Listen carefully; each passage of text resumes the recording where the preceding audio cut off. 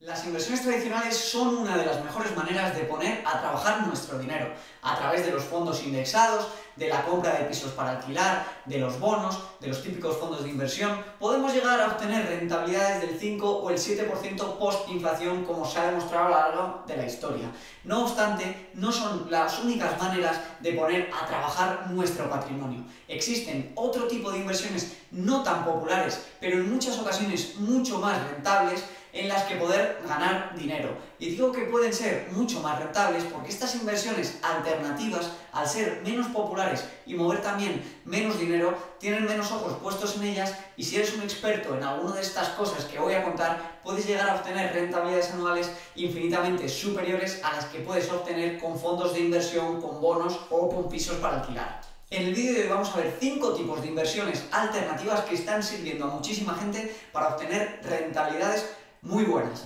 Además, al final del vídeo te voy a desvelar cuál utilicé yo para conseguir mi patrimonio y ganar 200.000 euros en algo menos de dos años. La primera inversión que vamos a ver hoy, y en mi opinión la más curiosa, es la de la inversión en cartas coleccionables. Te acabas de quedar loco, ¿verdad? Yo también. Pues hay famosos con muchísimo dinero, como el gurú del marketing Gary que está invirtiendo millones en cartas de baloncesto y en cartas de béisbol. Ejemplos más cercanos los tenemos en España con Romuald Fons, que esta semana pasada nos desvelaba que había gastado 250.000 euros en una carta del juego Magic y que esperaba poder triplicar o cuatriplicar su valor en la próxima década. Generalmente hablamos de ediciones limitadas de estas cartas, de primeras ediciones, o de personajes muy míticos de los cuales ya no están eh, jugando, ya no están en activo, pero su pasado es muy interesante para estos potenciales inversores de cartas coleccionables. En concreto, Romuald Fons nos contaba que la carta que él había comprado por 250.000 euros era una de las 10.000 primeras cartas que se hizo en la primera serie que era la carta más poderosa en ese momento de la baraja y además estaba firmada por el señor que había dibujado la baraja de cartas. Nos decía que de estas 10.000 iniciales apenas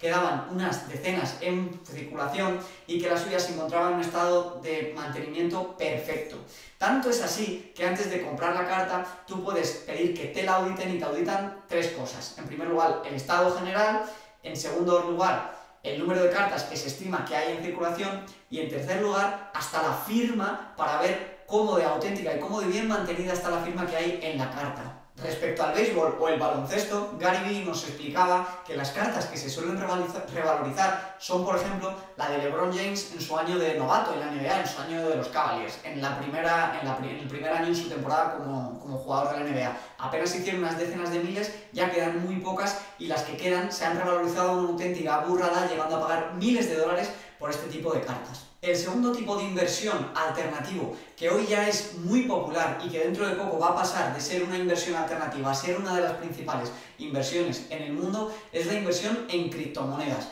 Más concretamente en las principales como Bitcoin, Ethereum, Litecoin, Ripple y todas estas. Las criptomonedas se basan en una tecnología blockchain o cadena de bloques y se rigen por un conjunto de algoritmos. Yendo a Bitcoin, Bitcoin fue la primera y la más famosa de ellas y se creó para crear la primera moneda virtual totalmente descentralizada que no dependiese de gobiernos, que nadie la pudiese manipular y con un número de Bitcoins limitados. En, concreto, 21 millones de Bitcoin, de los cuales ya hay en circulación 18 millones de ellos. Se estima que para 2030 y pico se habrán creado el,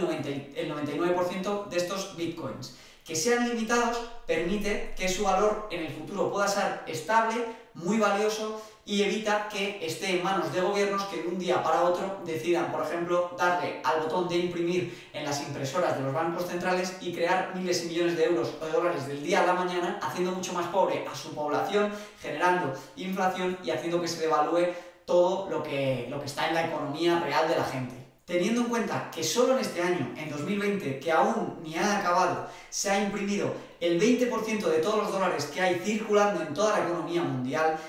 coge mucho peso el argumento de los maximalistas del Bitcoin, porque los bancos centrales parece que han perdido el norte. Se espera que el Bitcoin en el futuro, es lo que dicen los que compran las tesis del Bitcoin, sea el nuevo oro digital porque es almacenable en la nube, porque es anónimo, porque lo puedes intercambiar y lo que quieren es que se pueda acabar utilizando como una moneda más y que acabe reemplazando a las monedas tradicionales como el euro, el dólar o la libra. Justo ayer además salió una noticia que revolucionó e hizo incrementar el valor del Bitcoin en más de un 15% y es que PayPal iba a empezar a aceptar el Bitcoin y algunas otras criptomonedas como medio de pago oficial y que iban a permitir almacenarlas transferirlas y pagar con ellas en los negocios que acepten PayPal. Esto es un paso adelante en la comunidad cripto porque es, el paso más importante que se ha dado desde que nacieron a la aceptación masiva de los comercios. Es un tipo de inversión compleja y yo te recomiendo que estudies y que leas muchísimo antes de meterte en ella. Hay muchísima especulación, como todavía son mercados muy jóvenes,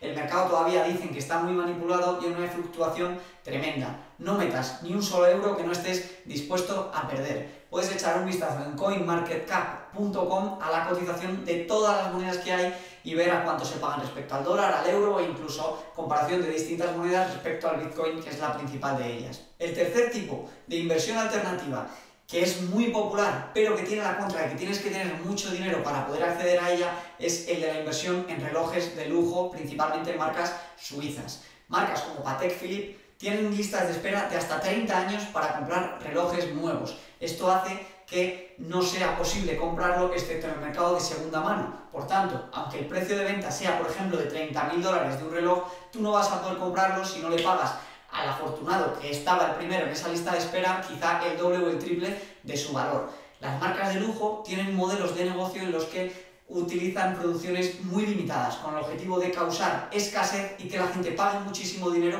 por tenerlos. Además, no solo las ediciones nuevas, valen más en segunda mano que nuevas porque no las puedes comprar nuevas, sino que los modelos antiguos también mantienen e incrementan su valor siempre que estén bien mantenidos. Relojes como el Rolex Daytona o el GMT Master 2 han demostrado que a lo largo de los años, desde que se empezaron a fabricar, han ido incrementando año a año su valor. Hoy cuesta muchísimo más comprarlo después de la inflación que hace 20 años e incluso los de segunda mano también para poder adquirirlos tienes que pagar más, mucho más de lo que ese señor pagó en su día. Te dejo aquí en la descripción un vídeo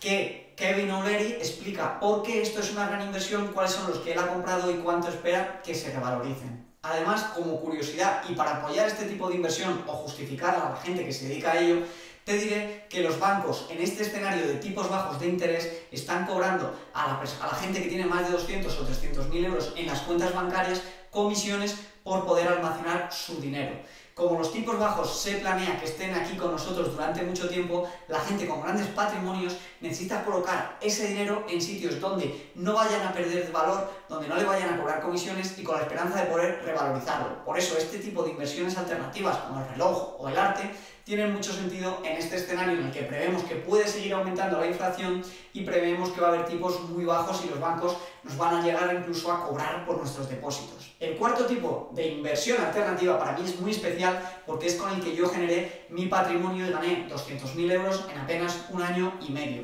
y es la inversión en apuestas deportivas. Si bien es cierto que el 99% de la gente pierde y yo no recomiendo a prácticamente casi nadie que se inicie en este tipo de inversión porque es muy riesgosa, sí que hay un grupo minúsculo de apostadores profesionales que conseguimos o consiguen sacar dinero a las casas de apuestas. Además, tenemos muy buenas noticias desde hace un año y medio porque lo que estaba ocurriendo era que cuando los apostadores profesionales ganábamos a las casas de apuestas, estas nos devolvían el golpe prohibiéndonos apostar más de 2 o 3 euros a cada partido, por lo que se hacía imposible ganar dinero. No obstante, un grupo de apostadores decidimos denunciar y hace unos años los tribunales superiores de justicia de algunas comunidades autónomas dieron la razón a los apostadores profesionales, dijeron que esta que esta mm, actividad era abusiva y restablecieron las cuentas con los límites originales de cualquier otro apostador. Generalmente, para ganar las casas de apuestas hay que alejarse de los mercados principales, es decir, hay que alejarse de la liga española, de la liga inglesa, porque son ligas tan populares donde apuesta tanta gente, que mueven tanto dinero, que las casas de apuestas fijan muy bien las cuotas y no tienen apenas errores, por dos motivos. El primero es porque hay toda la información a vida y por el mundo de carácter público, todo el mundo sabe lo que le ocurre a los jugadores del Madrid o a los jugadores del Barça, y tienen modelos predictivos basados en estadísticas buenísimos. Pero es que además, al apostar tantísima gente en estos mercados, las casas de apuestas se pueden permitir tener a uno o de varios traders, incluso decenas de traders, fijando las cuotas y revisando las cuotas de estas competiciones donde es posible ganarles en cambio, es en competiciones muy poco populares, como pueden ser las ligas regionales de Polonia, las segundas o terceras divisiones de Indonesia, o competiciones similares donde muy poca gente se fija, muy poca gente apuesta y por tanto la casa de apuestas no tiene dinero suficiente o no le compensa destinar su dinero a fijar un trader para ese tipo de ligas. Entonces aquí tú puedes quizá encontrar información que la casa de apuestas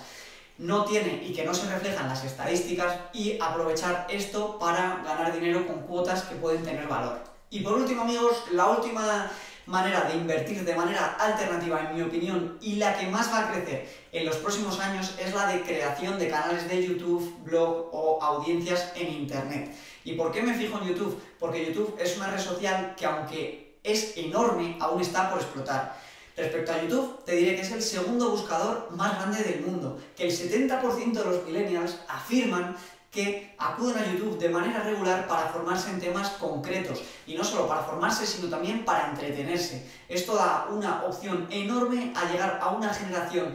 que tiene millones y millones de personas en todo el mundo. Un canal pequeño, pero bien segmentado en una temática concreta, puede llegar a generarte, si tiene, por ejemplo, de 10 a 20 mil suscriptores, pues hasta 500 o incluso 1000 euros al mes, depende de las visualizaciones que tengas cada mes. YouTube te paga en función de lo que los anunciantes le pagan a él por salir anunciados en tus propios vídeos. Entonces, dependiendo del sector o la temática de la que tú hables, te pagan más o te pagan menos. Esto se ve muy claro. La temática que más dinero mueve y en la que más pagan los anunciantes por salir es la de los negocios, el marketing y las finanzas personales. Aquí pueden llegar a pagarte hasta 9 o 10 euros por cada mil visualizaciones que tiene tu canal. Sin embargo, hay temáticas que no pagan tanto dinero como puede ser la del gaming, la de los videojuegos, de mm, hacer streaming de videojuegos y todo esto. Aquí solo pagan 1 o 2 euros por cada mil visualizaciones. Además de la publicidad que ganas de lo que los anunciantes te están pagando por salir en tu vídeo, también puedes monetizar tu audiencia, toda la gente que te ve,